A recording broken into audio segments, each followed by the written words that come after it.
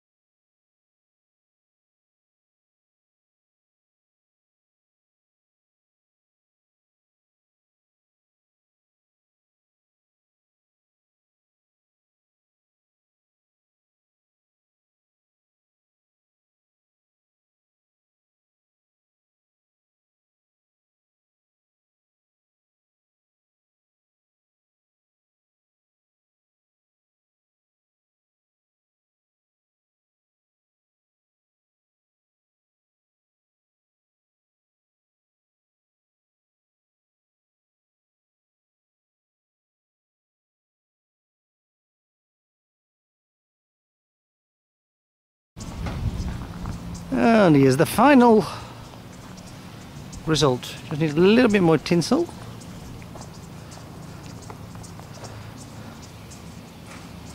And we'll have the best tree on the street. Mm.